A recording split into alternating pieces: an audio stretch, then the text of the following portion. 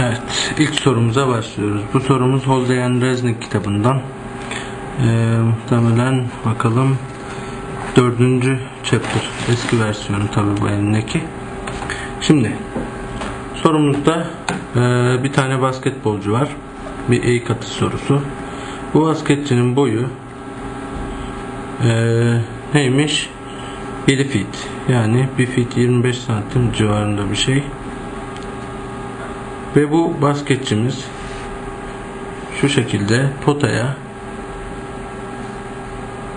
14 feet uzaklıkta. Potanın yüksekliği ise 10 feet. Şimdi bu uzaklığa ben D diyorum. Şu basketçininkine HB potanın yüksekliğine de HP diyeceğim. Basketçimiz 55 derece açıyla yatayla topumuzu fırlatıyor. Sorumuz şu. Ve ne olmalı ki basketçimiz topu potaya isabet ettirsin. Şimdi öncelikle eğik atış denklemlerini yazalım. Yatayda herhangi bir kuvvet olmadığı için yataydaki hızımız sabit. Bu da V kosinüs teta çarpı T. Düşeyde ise yer çekimimiz var. Başlangıç hızımız V sinüs teta çarpı T. Yer çekiminin katkısı 1 bölü 2 gt kare. Bir de başlangıç yüksekliği.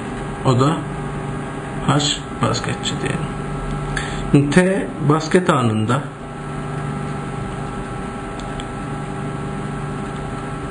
X'imiz D'ye eşit olurken Y'imiz de H P'ye eşit olacak. Top tam buradayken. Yani D burayı X, Y koordinatları cinsinden yazarsak bu şekilde olacak. Dolayısıyla T anında yani D x eşittir D iken T'miz V cos θ çarpı T. Bu T'yi burada çekip bu denklemde yerine koyduğumuz zaman Y yerine de H basketçi H potayı koyduğumuzda soruyu çözmüş olacağız. V'yi bulmuş olacağız. Yapalım. HP'miz neye eşit?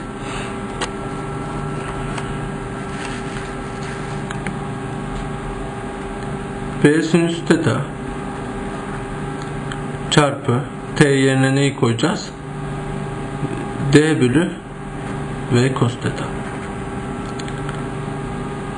Eksi 1 bölü 2 gt kare yerine T yerine neyi koyacağım? D bölü V cos teta'nın karesini. Bir de neyimiz var? Basketçimizin boyu. Bu da nedir? Yaparsak F'ler sadeleşecek. Denklemimiz şu hale gelecek. D tanjant teta eksi G D kare bölü 2 V kare kos kare teta artı H basketçi ve bu da nedir? H burada. Bunu biraz daha düzenlersek bu tarafa atalım. G D kare bölü 2 B kare kos kare teta D tanjant teta artı H basketçi eksi H pota. Rakamları yerine koyup çözersek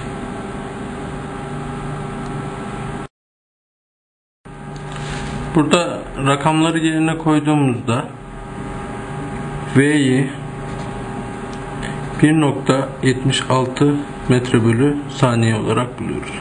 Burada dikkat etmemiz gereken şey G'yi 10 metre bölü saniye kare aldık. Fakat bize verilen buradaki uzaklıklar uzunluk birimleri feet. Yani bu da nedir? 25 santimetre. Yani buradaki feet'i 0.25 metreye çevirmemiz gerekiyor. Eğer bunu yapmazsak G'deki birimde hata yapmış oluruz. Sonucumuz da 1.76 metre bölü saniye. Okey. Sorumuz bitmiştir.